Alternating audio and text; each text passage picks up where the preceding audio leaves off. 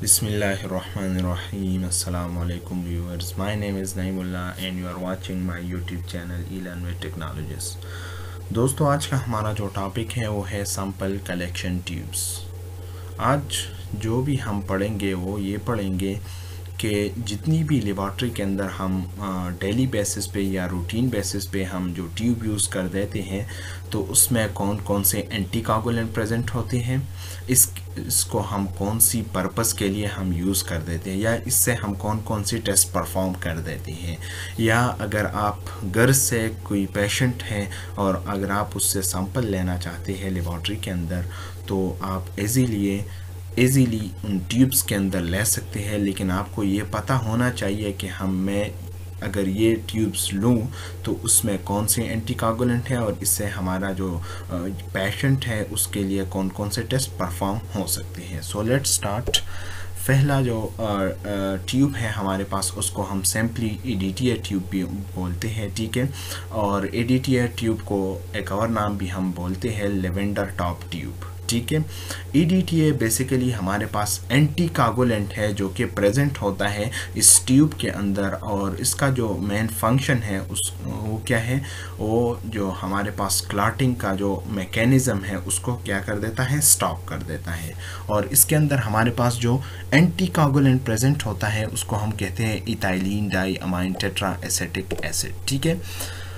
दूसरी बड़ी इंपॉर्टेंट बात यह है कि इसका जो कलर होता है, वो लेवेंडर कलर होता है। अब हम आते हैं इसकी यूजेस के ऊपर कि अगर मैंने लेवेंडर टॉप ट्यूब के अंदर ब्लड डाला या एडिट या ट्यूब के अंदर ब्लड डाला तो उससे हमारा जो लेबॉर्ट्री के अंदर कौन कौन से टेस्ट परफॉर्म हो सकती हैं?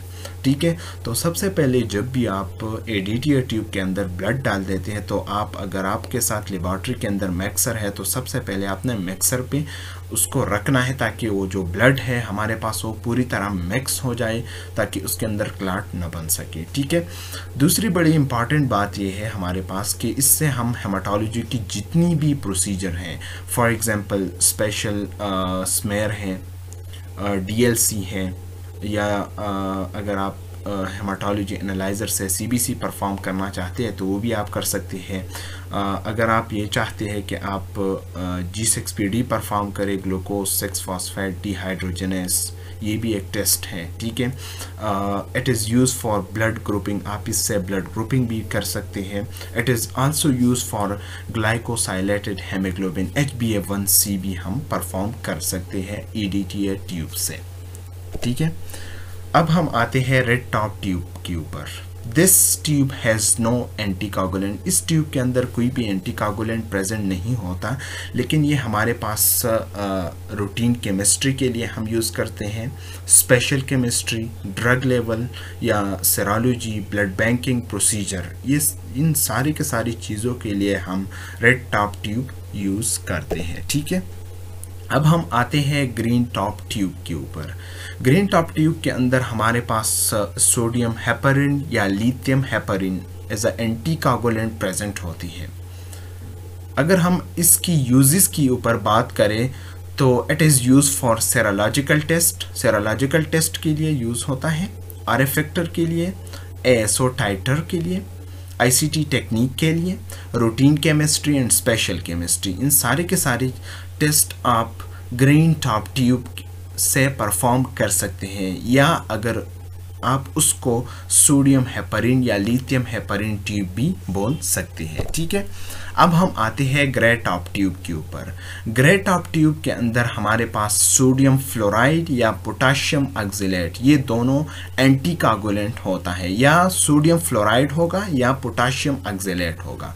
तो अगर आप उसको एक और नाम भी दे के सोडियम फ्लोराइड ट्यूब है या ग्रे टॉप ट्यूब है तो ये आपकी मर्ज़ी है, ठीक है? It is use for glucose इससे हम ग्लूकोज भी परफॉर्म कर सकते हैं। इससे ग्लूकोज क्यों परफॉर्म करते हैं। ये ग्लूकोज के लिए स्पेशल है।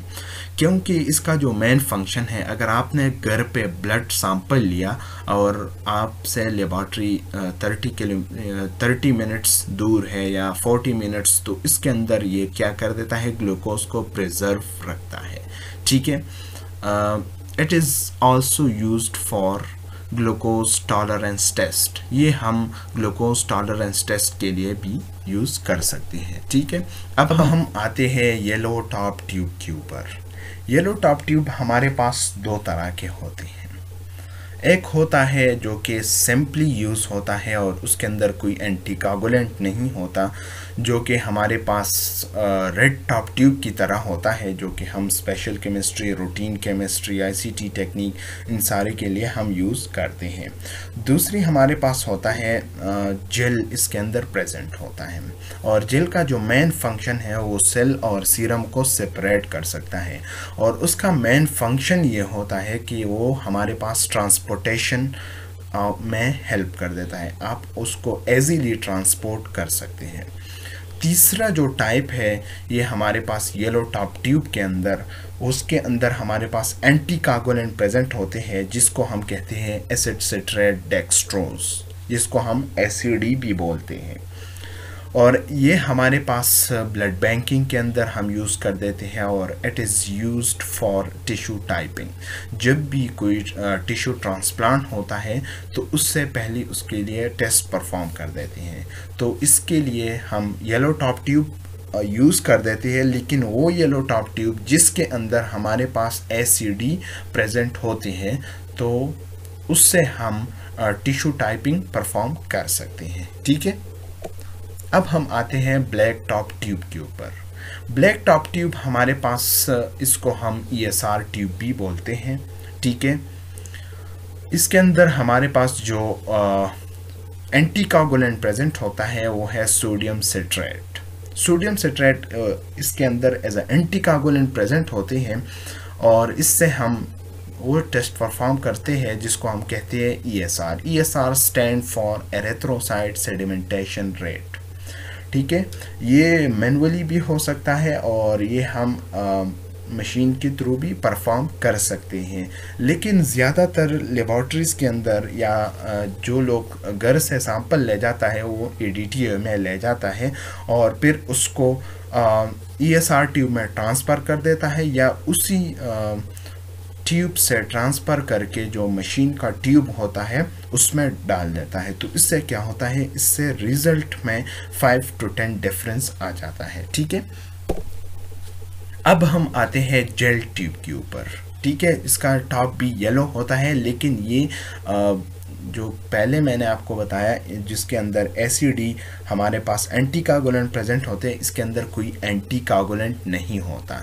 इसके अंदर बेसिकली जेल होता है और ये हम यूज़ कर देते हैं chemistry routine chemistry special chemistry और इन्फेक्शस डिज़ीज़ को टेस्ट करने के लिए हम उसको यूज़ कर देते हैं। इसका एक और भी बेनिफिट ये है कि इस, ये हमारे पास सीरम और सेल्स को सेपरेट कर देता है और इसको हम ट्रांसपोर्टेशन के लिए भी यूज़ कर सकते हैं। ठीक है blue top tube blue top tube हमारे पास इसके अंदर एक एंटी कागुलेंट प्रेजेंट होता है, जिसको हम कहते हैं सोडियम सिट्रेट ठीक है? इसके अंदर कौन सा एंटी कागोलेंट प्रेजेंट होता है? सोडियम सेट्रेट और ये हम कागोलेशन स्टडीज़ के लिए यूज़ करते हैं for example prothrombin time activated thromboplastin time और डी डाइमर के लिए. ये हमारे पास यूज़ होता है लेबॉर्ट्रीज़ के अंदर.